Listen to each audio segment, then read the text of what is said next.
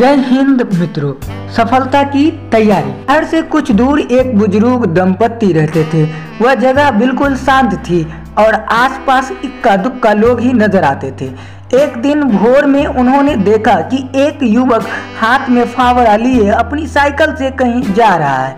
वह कुछ देर दिखाई दिया, फिर उनकी नज़र में ओझल हो गया। दंपति ने इस बात पर अधिक ध्यान नहीं दिया, पर अगले दिन फिर वह साइकिल उधर से जाता दिखा।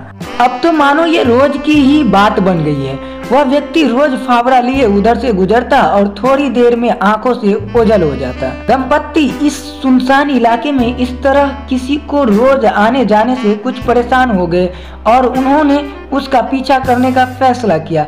अगले दिन जब वह उनके घर के सामने से गुजरा तो दंपत्ति भी अपनी गाड़ी से उसके पीछे पीछे चलने लगे।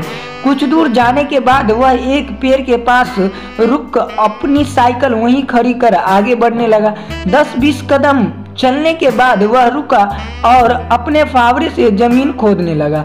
दंपति को बड़ा अजीब लगा और वो हिम्मत करके उसके पास पहुँचा।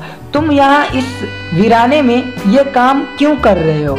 युवक बोला, जी, दो दिन बाद मुझे एक किसान के यहाँ काम पाने के लिए जाना है और उन्हें ऐसे आदमी चाहिए जिसे खेतों में काम करने का अनुभव हो।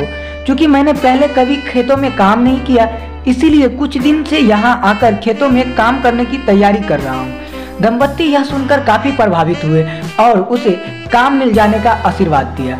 नोट, दोस्तों, किसी भी चीज़ में सफलता पाने के लिए तैयारी बहुत ज़रूरी है। जिस लगन के साथ युवक ने खुद को खेतों में काम करने के लिए तैयार किया, कुछ उसी तरह हमें भी अपने अपने क्षेत्र में सफलता के लिए खुद को तैयार करना होगा। आई होप दोस्तों, ये कहानी आपको अच्छी लगी हो। अगर ये कहानी अच्छी लगी तो कहानी को लाइक और शेयर कर दीजिए और चैनल को सब्सक्राइब कर दीजिए। थैंक यू जय हिंद जय बिहार